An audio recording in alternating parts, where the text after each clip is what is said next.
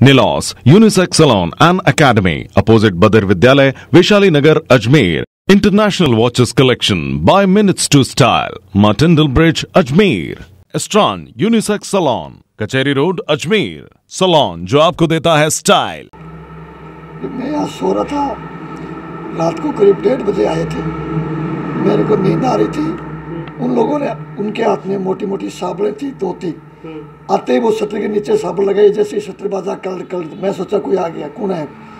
میں نے بولا، کون ہے بھیا؟ کیا رہا ہے؟ کون ہے؟ کون ہے؟ میں نے بولا چولہا میں نے لائٹ جگہ کی دیکھا تو سابڑے تی تھی شٹر کے اندر آ گئی تھی۔ ارے مگو، یہ تو میں نے جیسے ہی جھپٹی ماری، موبائل اٹھایا، گھنٹی بجائی۔ میرے سے موبائل لگا نہیں، صحیح۔ آواز ماری ہے وہ بھائی صاحب بھاگو رہے، پڑوسی بھاگو ہوٹل والے نے، جب تک جب تک وہ شٹر ایک بلان اونچا کر لیا۔ میں نے سابن پکڑ لی، میرے ہاتھ لی سابن لگی سابن کی لگ گئی میں نے آواز ماری، وہ بولتے تقریباً ایک ڈیڑھ منٹ کے اندر پورا سٹر وہ اونچا کر دیا۔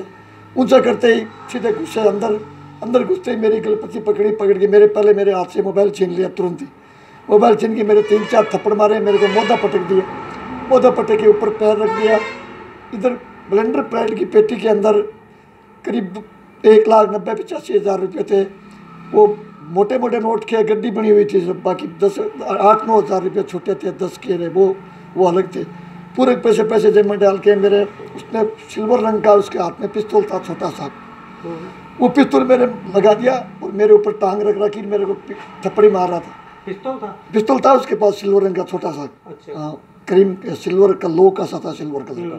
میرے وہ ساتھ دکھا ہاتھوں میں آنکھوں میرے ٹورچ مار رہے تھے بار بار میں۔ بیٹری تھی ان کے ہاتھ میں پیڑے رنگ کی ایک بلاند کی بیٹری وہ میرے بار بار میں آنکھیں میں مار رہے تھے۔ مار کے میں میرے کو پوچھ رہا تھا میں بولا بھی یہ ہے جو یہی ہے میرے پاس سب پیسے میرے جیب میں ڈال کے پھر وہ وہ بہت سب ہو گیا۔ ہونے کے بعد میرے کو کھڑا کرا کھڑا کر کے دو تین تھپڑ مارا۔ تھپڑ مار کے ایسے کرتے میرے پاس میں اوٹ رکھا تھا وہی چادرا میرے کو گل گٹ مٹ کر دیا میرے چہرہ چہرہ ڈھک میرے کو منہ اڑا دیا چادرا پٹک۔ اٹھا کے میرے کو دھکا مارا، میرے پاس کولر پڑا، اس کولر کے پیچھے کونے پٹک دیا میرے کو۔ بولے یہاں پڑا رہا چپ چاپ سڑک کھلا دوں گا، گولی مار دوں گا ہاتھ میں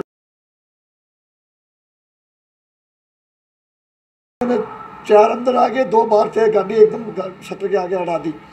اور دھاں دھوں دھاں دھوں کر کے جو بھری ہوئی پیٹیاں تھیں، دارو کی، سبھی پیٹیاں ڈال لی۔ رینک کے اوپر ہائی رینج کا جتنا بھی مال تھا، قریب قریب نبے پرسینٹ سارا ہی مال لے لیا۔ چپر کے دس بیس دس بیس پوئے یہ بچے بسکوت پیرا سب ڈالی گبوک سبوک ان کی گاڑی پر گئی جب تک دو، جب تک کالج کے دو لڑکے آئے تھے ادھر سے سامنے سے، چھوٹے چھوٹے، وہ سوچا کہ بھی آج تو دارو مل جائے گی، ابھی تک دکان کھلی ہے، مال اتر رہا ہے، مال گل رہا ہے آ تو دارو ملے گی۔ وہ آئے، وہ جیسے ہی دکان کے دس پاؤنڈا دور رہے، اس نے وہ باہر کھڑے تھے، ان لوگوں نے بولا جلدی آ جاؤ پھٹا چلو بارو باہر چلو باہر چلو آ گیا کوئی۔ تو وہ اندر تھا، وہ سورا بھاگیا سل پستول لے کے ان کے گاڑی پاس، ادھر کی طرف، ان کے پاس چلا۔ بولے، دکان کی طرف آ گیا سڑک مار کھنڈا دوں گا وہ سو وہ سورے سمجھ گئے کہ یہ تو ٹھیکے والا نہیں ہے، تو کوئی لوٹ ماٹ ہو رہی ہے۔ وہ تڑا چھٹ اسی ٹائم بھگے بھگ کے وہ دو ہی منٹ میں آپ کے بندوں کو بلا کے لے کے بولا یار ٹھیکے پر لوٹ ماٹ ہو رہی ہے۔ جب تک وہ بھر کے چلے گئے، میرا آگے لگا دیا کنٹا میں بڑی مشکل سے اٹھا۔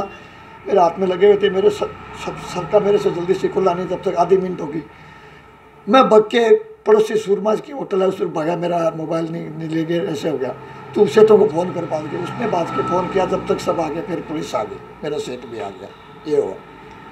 کتنے لاکھ کا مال تھا مال لمسم دیکھو نگد پیسے تھے دو لاکھ کے لمسم اور کم سے کم تین کے آس پاس مال تھا اس کو زیادہ تھی۔ آس پاس سی سی ٹی وی کیمرے لگے ہوئے ہیں ان میں مال بھرتے دکھ رہے ہیں گاڑی لگی ہوئی دکھتی ہے سفید رنگ کی دکھ رہی ہے گاڑی نمبر وغیرہ نہیں دکھ رہے ہیں۔ ان کا اولیا کس پرکار کا تھا؟ اولیا لمبے لمبے تھے گورے گورے لیکن چہرے ڈھکے ہوئے تھے سب کے چہرے بندے ہوئے تھے۔ کتنے آدمی تھے آدمی اندر چار تھے دو باہر تھے چھ آدمی تھے۔ رپورٹ درج کروا رپورٹ درج کروا۔ کون کشن گنج میں کروائیے سر۔ میرا نام مگن سنگھ ہے۔ کہاں پر ہے آپ کی یہ دکان؟ یہ دکان